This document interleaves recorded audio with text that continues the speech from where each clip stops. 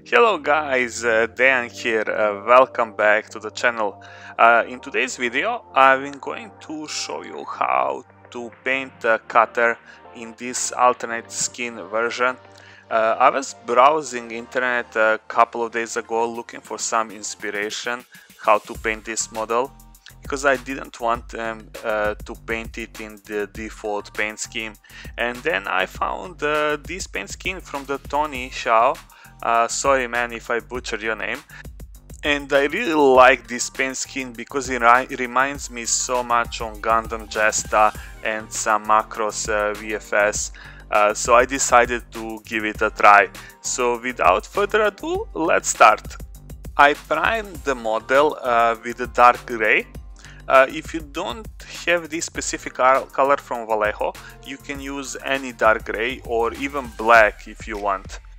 Try to apply this paint in the few uh, thin layers uh, because this will be our default paint uh, for the armor. I will then use uh, blue-green and uh, I will paint all this under armor that he have. Actually, there is not that many surfaces, uh, but uh, I'm, I'm, going to paint uh, all of them very carefully. Uh, but in any part of this video, uh, if I make uh, any mistakes while painting, while going uh, over the panels that I'm not painting, I will just go back to my uh, dark gray and I will just repaint them since this is my base color and it will be very easy to do the fixes. And because of that I will highlight the gray armor at the end. Now let's go back to these uh, blue-green panels. I will use a blue tone uh, from the Army Painter. Uh, if you don't have this wash, uh, you can use any blue wash or even uh, Nuln-Oil or black wash uh, will do the job. And I will just carefully do a little heavier wash here because the recesses are really deep and I want them to pop up and to be visible. So I will do a proper wash and then leave everything to uh, completely dry for like 20 to 25 minutes. And then after everything uh, is completely dried, I will go back to the blue-green and uh, I will just uh, return uh, the top of these uh, panels and the most raised areas to the previous color. Uh, in the same time this will be my one and only highlight on this uh, because this surface is very small and when I highlight everything else it will totally blend in so we don't actually need to do that much work on this part. For the next step, uh, I decided uh, to paint uh, some sections of these armor panels in the blue color. Uh, so for this I will use a flat blue. And I have to say that this paint is really good and have a really good coverage. And uh, since we are painting over the gray surface uh, I only had to apply this in one very thin coat. And I had good coverage. If you still can see some gray protruding from down on your blue, you can go and apply the second thin coat uh, and uh, you will have a good coverage. Here you can see like uh, what outlines I blocked with this paint uh, so that you can copy the same pattern if you like.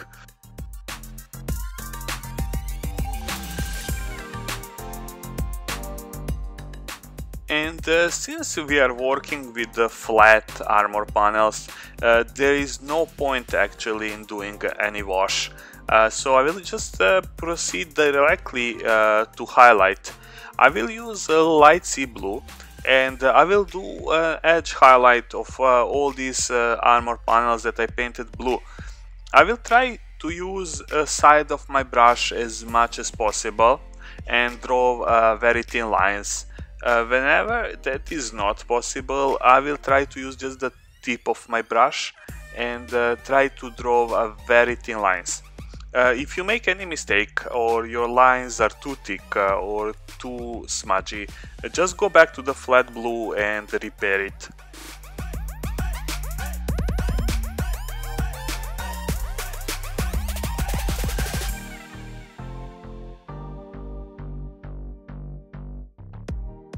So for the next step, uh, I will apply some orange paint just to create some uh, contrast and diversity in the armors.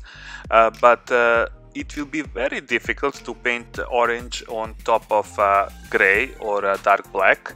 Uh, so for this case I will have to first uh, base paint uh, uh, with a mix of a cavalry brown and orange brown. So I made like a slightly 50-50 mix it doesn't have to be exactly 50-50 if you make like a 60-40 it's not a big deal. Uh, I just want to apply the first layer of this paint and outline the areas that uh, I want to paint orange.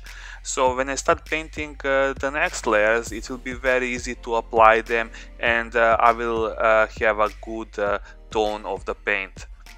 Here you can see that I'm trying to paint like some lights in these recesses uh, so at this moment it looks really like a brownish uh, but in the next step uh, when I start using the pure uh, orange brown I will go all over the same areas again and this time uh, with the pure color as well in a one or two very thin coats so that I start having a little more orangey color.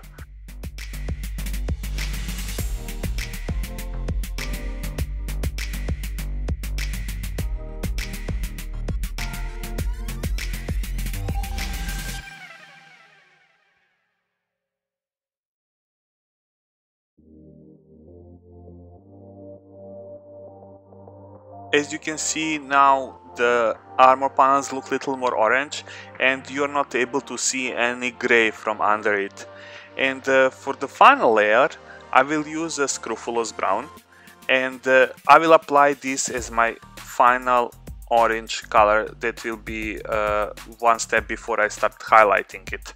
Uh, so for this step uh, you can actually paint let's say between 80 to 90% of the surfaces that we painted with the previous color and try to focus on the raised areas more. So if you have to paint something that's under or that's in shadow, uh, try to leave it uh, with the previous layer. As well for these uh, lights uh, in the recesses, uh, you don't need to go all the way. You can just paint like 80% of it just a slight line start from the middle and towards the edges.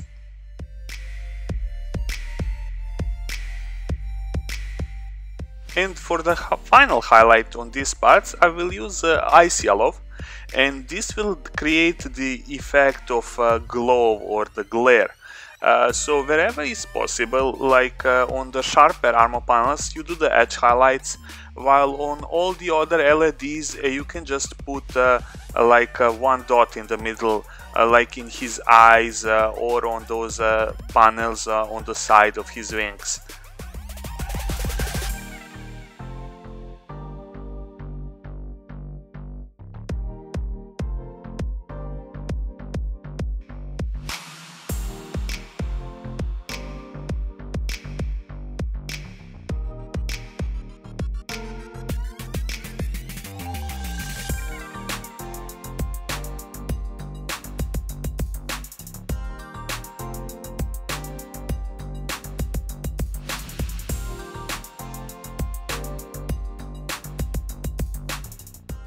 Uh, for the next step, I decided uh, to make some armor panels on his leg a little different.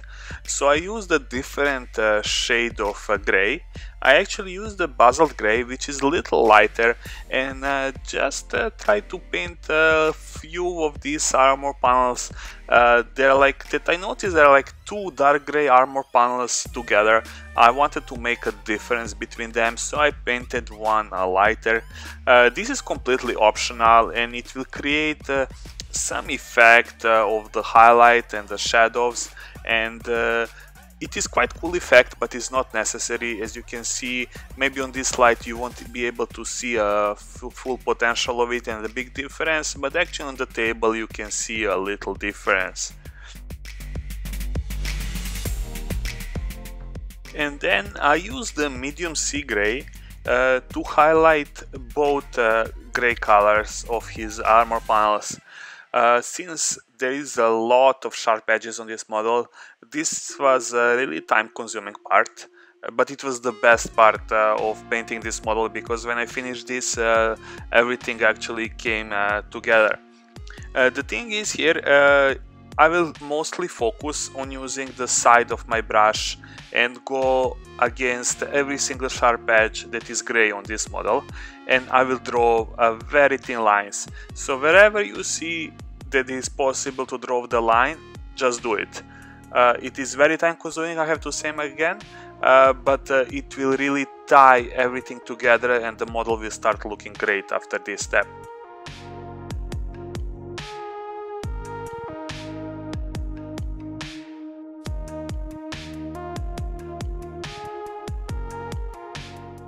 now it's time to start working on his gun. I decided uh, to paint uh, the front of the muzzles uh, just black. Uh, this was optional because I could leave it gray, uh, but I wanted them to be a darker. So at the end I decided it, uh, that it would be good to paint it black and then after I highlighted there was not actually a big difference between the dark gray and the black, but I leave that up to you. And then I decided uh, to put a little more colors uh, to the edges. Uh, so I pick up uh, this khaki paint uh, just to paint the frame of the gun. Uh, this paint have a very good coverage, so I had to apply only one thin coat and I was really satisfied with the result. And as well, I was really careful here not to go inside the recesses and because I achieved that, uh, I was uh, not in need to use the wash for this. So I proceed straight uh, to highlight it after this. And for the highlight, I pick up the same ice yellow that I used for the orange parts and I just did the edge highlight. Uh, this is a very light highlight, uh, but it will outline and uh, give some good dimension to the gun.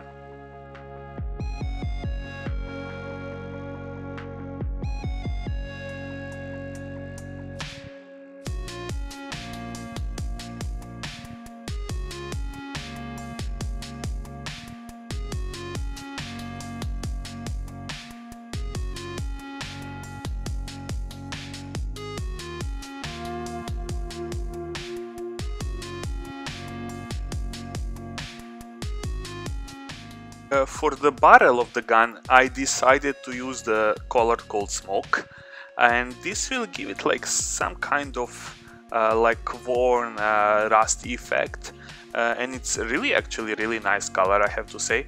Uh, so I applied this in uh, two very thin coats because after the first coat the paint was like slightly transparent. So I went there the second time and I had a nice and even coat. So I was happy with it I use this only on the uh, on the barrel and uh, on some stuff on the side. And because I haven't uh, highlighted the gun with the medium sea gray, I was highlighting the rest of the armor. I just had to make a break uh, from highlighting the gray. I went back and I just did the same edge highlight as I did on the rest of the armor.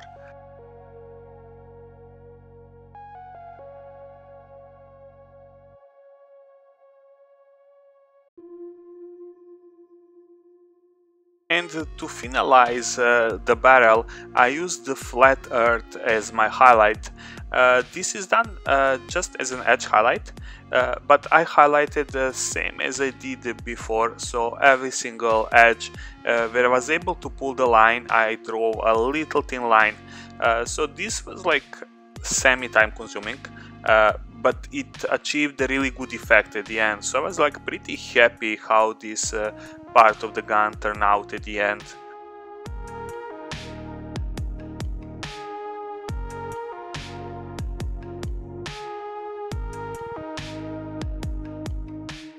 Finish up uh, with the model, uh, it's time to do some markings and the freehand. Uh, so I used my smallest brush with the best point that I have and I just used the pure white. Uh, so if you are scared of doing a freehand, like the best thing to start is to try to draw some straight lines. Uh, try it on the piece of paper uh, first couple of times and then start applying it on the model. Uh, here you can see I just start drawing like some triangles and some straight lines uh, just to, to warm up my hand. Since we are working over the dark gray, don't be scared if you make any mistake. Just go back to the dark gray or to the flat blue in this case and just do a little repair, use it as an eraser. And then uh, I decided to put a few uh, red lines uh, on the model as well just to create a little contrast between these lines.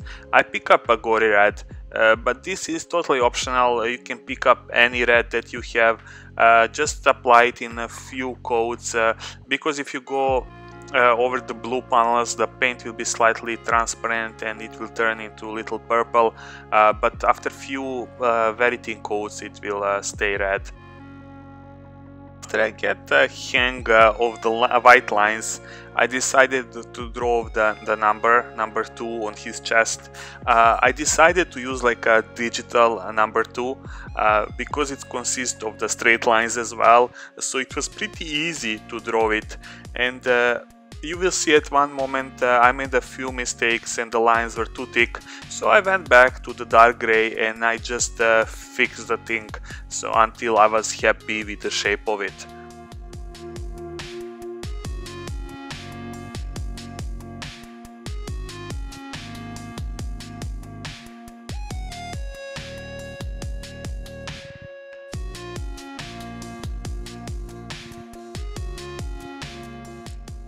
The end, I decided to draw a Panoceania logo on his uh, right uh, shoulder. Uh, so this required a few practice steps that I did on the paper, trying to draw like a perfect circle with my hand. And uh, after I was like happy, I was like, let me try to draw it on the shoulder. Uh, so here you can see I made a completely white circle on the shoulder and then uh, I used the light sea blue and tried to mark the two dots the blue dots and then try to draw the, the rest of the blue logo in between. Uh, so it was easy to paint this because you're going with the blue over the white uh, so it totally like covered everything perfectly. Uh, only challenge was that the model was high and my hand was like most of the time floating in the air so I have to like try to be like really steady and really precise. But at the end uh, I was really satisfied how this logo turned out. At the end and uh, that's it, I already made the base for this model so I will just transfer it to it. Uh, if you're interested how, I will include a link in the description section down below where I exactly show you and explain how to make the base like this.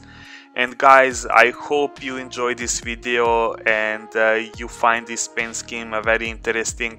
If you did, uh, please a like and subscribe to the channel. It will mean a lot to me and it will help this channel grow. And guys uh, this is all for now. I wish you happy holidays. If you're celebrating christmas merry christmas to all you. Uh, stay safe take care and uh, see you in the next video.